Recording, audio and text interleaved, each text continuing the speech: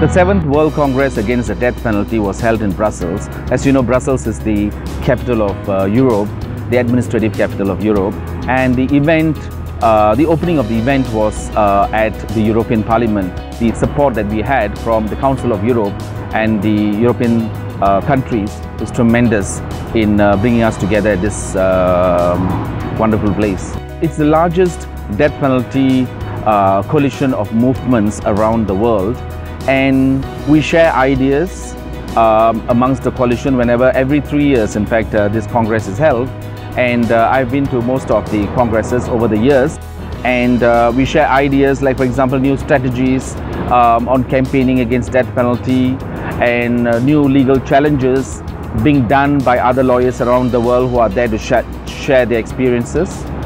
Um, the strength of uh, support by the European Union in this um, in this Congress is significant because Europe is a trading partner of most of is the biggest trading partner of most of the countries, and uh, Europe has a lot of influence uh, in its economic uh, relations with other countries in putting anti-death penalty on its uh, agenda. Every um, Congress, which is held every three years, we have a protest march. It's called Abolition March. It will, it will be held in the main city center. So this time in the Brussels city, we, we, were, we went to a particular place and then from there we marched across the street of Brussels, uh, shouting slogans for the abolition of the death penalty. There was a time when uh, people were wondering, you know, whether this movement of death penalty abolition will uh, will be worldwide. Um, and there was a lot of skepticism that was 30 years ago. It, initially, it was one third of the world. Now it's, um, I mean, then it was half the world, then two third. I mean, and now it's reaching almost three quarter of the world, which is opposed to death penalty. I would say that the momentum of the abolition around the world is growing. For example, if you have like in, in East Africa, if you have a particular country abolishing death penalty, it has a spillover effect on, on the other countries. And we are already seeing a lot of legal challenges which are already currently taking place.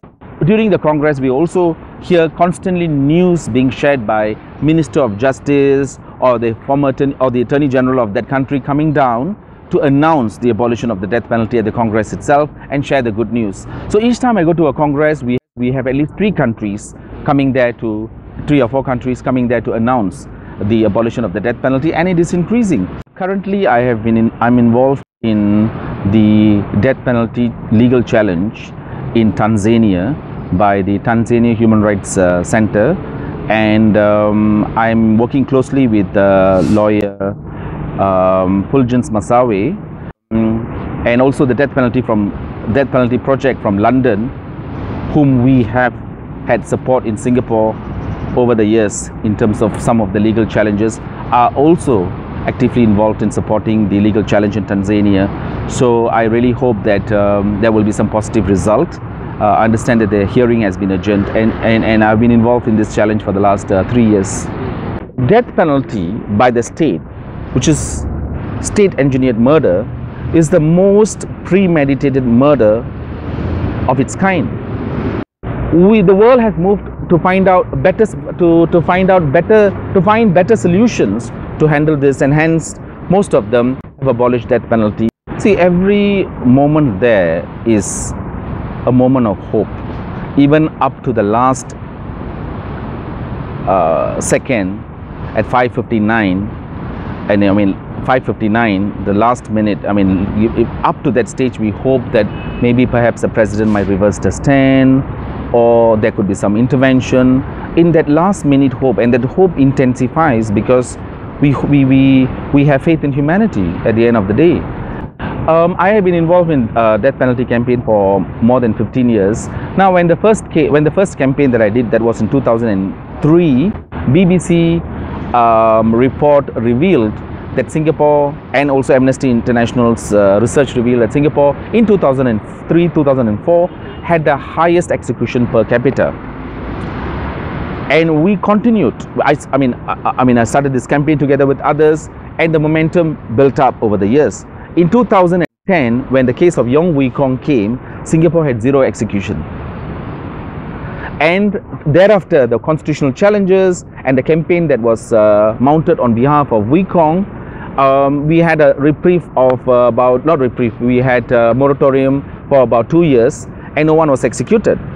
And then there was a change, change in the law. And it is still not satisfactory. I mean, just because there was a, this, there is this, um, this is only a partial development uh, towards um, the rectifying the defects in the, the, current death penalty regime. But I hope that um, the momentum will move on towards uh, total abolition.